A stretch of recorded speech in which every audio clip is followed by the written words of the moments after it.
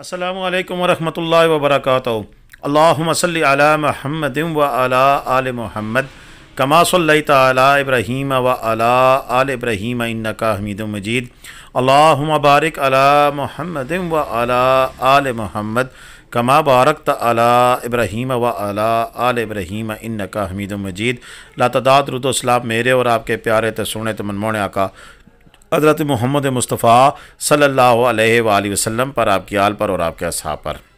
जी अज़ीज़ दोस्तों, इस वक्त जो आप नाज़र देख रहे हैं नारान बाज़ार के हैं, आज ये वीडियो मैंने नहीं लगानी थी, लेकिन मजबूरी के आलम में मुझे वीडियो लगानी पड़ी और काफ़ी एफ़र्ट करके मुझे तमाम प्लेसेस से वीडियो क्लिप्स बनाने, मंगवाने पड़े। नारान से हमें आबद भाई ने जिनका होटल है एपीडेल उसमें और इसके अलावा इसी तरह आगे से भी हमें वीडियो क्लिप्स मंगाने पड़े ये चौधरी जुल्फ़ार साहब ने क्लिप भेजे ये गुज्त दो दिन पहले के क्लिप्स हैं। इस वक्त जो आप देख रहे हैं, जो सोच के मुकाम पर ट्रैफ़िक ब्लॉक हुई थी, आज के नहीं है। आज ये रास्ता बिल्कुल क्लियर है, रोड क्लियर है और मुझे काफ़ी सारे चैनल्स पर ये खबर चल रही थी, फेसबुक पे खबर चल रही थी कि नारान से बहुसा टॉप जाने वाली रोड ब्लॉक है। तो उस हवाले से फिर मुझे क्लिपिंग बनाना पड़ी और साथ ये हवाला देना पड़ा कि ये इस वक्त जो आप क्लिपिंग देख रहे हैं ये आज की नहीं, आज से दो दिन कबल की है सोच की है, और सोच के मुकाम पर, दमदमा के मुकाम पर लैंडस्लाइड हुई थी, जिसे कगान डेवलपमेंट अथॉरिटी और नेशनल हाईवे ने मिलकर फ़ौर से पेशतर इसको क्लियर कर दिया था, को ट्रैफ़िक ब्लॉक रही थी। इसमें आपके सामने है कि ट्रैफ़िक ब्लॉक होने की वजह क्या है? दो से तीन तीन लाइनें और लोगों की फुर्तियाँ जो सी हैं, वो इनको मार देती हैं, जिसकी वजह से ज़्यादा लंबे अरसे तक फिर ट्रैफ़िक ब्लॉक रहती है। हालाँकि जो लैंडस्लाइड होती है, उसको क्लियर कर दिया जाता है। उसके बावजूद फिर एक लंबी जो लाइनों का सिलसिला है, वो इस वजह से जारी रहता है। तो ये कीप इन माइंड ये अपने जहन में रखिएगा कि ये आज के क्लिप्स नहीं है, आज से दो दिन पहले के क्लिप्स हैं। इसी तरह बटाकुंडी के पास एफ़ डब्ल्यू ओ के पास लैंडस्लाइड की खबर चलाएगी तो हमने बटाकुंडी से जो हमारा वेस्टा क्लिस्टा होटल है, उसके जो वहाँ पर मैनेजर हैं फवाद शाह साहब अजमल शाह साहब, जो ऑनर हमारे, बड़े अच्छे दोस्त हैं तो फवाद शाह साहब से मैंने रिक्वेस्ट की कि जनाब वहाँ से क्लिप बना के भेजे। जी आप देख सकते हैं, गाड़ियाँ गुजर रही हैं, बटाकुंडी मेन बाज़ार है, ये मेन बाज़ार की क्लिपिंग इस वक्त आपको मैं दिखा रहा हूँ। बटाकुंडी में अब से यह तकरीबन जब मैं वीडियो अपलोड कर रहा हूँ तो आपसे ये आधा पौना घंटा पहले की हैं। मुख्तलिफ़ रेंज में, मुख्तलिफ़ क्लिप्स मेरे पास आते रहे तो मैं आपके साथ ये आप शेयर कर रहा हूँ। बटाकुंडी में मौसम ज़बरदस्त है। इस वक्त कोई बादल तो छाए हुए हैं हल्के हल्के लेकिन कोई बारिश नहीं है। किसी किस्म की कोई लैंड स्लाइड नहीं है। धूप निकली हुई है और बड़ा ही ज़बरदस्त मौसम है। और ये आज चौबीस जुलाई की मैं अपडेट्स आपके साथ शेयर कर रहा हूँ। आज चौबीस जुलाई है और इस वक्त की जो सिचुएशन है, वो आपके सामने मैंने रखी है। कि 24 जुलाई को इस वक्त क्या मौसम है और क्या सीन चल रहा है।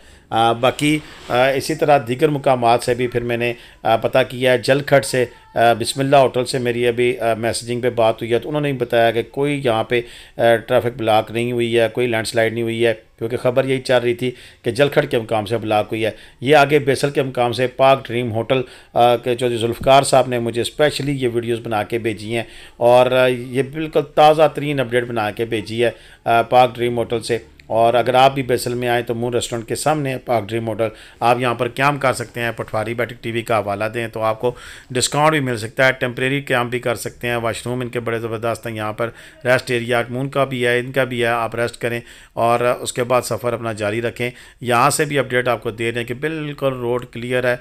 कोई ख़ास आज रश भी नहीं है और मून रेस्टोरेंट की पार्किंग भी आप देख सकते हैं। वहाँ पर भी काफ़ी सारी गाड़ियाँ खड़ी हैं और लोग इन्जॉय कर रहे हैं। ये नीचे देखें, दरिया के पास पास भी लोग जो बिल्कुल पार्क होटल के साथ दरिया एक नाला आ रहा है, उसके ऊपर भी लोग इंजॉय कर रहे हैं। तो पार्क रेस्टोरेंट पर भी खड़ी खड़ी हैं, पार्क होटल पार्क होटल पे पार्क ड्रीम होटल पे।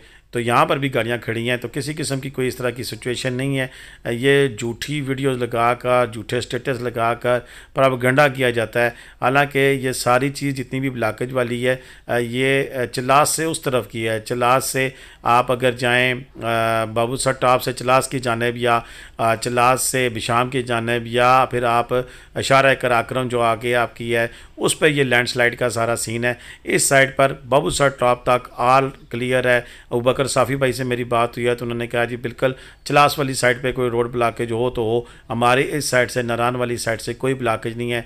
गाड़ियाँ आ रही हैं, लोग आ रहे हैं और ये आपको क्लिपिंग भी हम दिखा रहे हैं कि ताज़ा तरीन अपडेट्स हैं बाबूसर टॉप से भी कि किसी किस्म की कोई ब्लॉकेज नहीं है और ये कन्फर्म मैं आपसे अल्फिया कह रहा हूँ कि हो सकता है कि एक अद्धा क्लिप जो सोच के मैंने पहले के दिखाया, या बाबूसर टॉप के, ये कल के क्लिप्स हैं, लेकिन आज भी यहाँ पर लोगों की बड़ी तादाद यहाँ मौजूद है। नेट के इशू की वजह से वीडियो क्लिप नहीं आ सका बाबूसर टॉप का।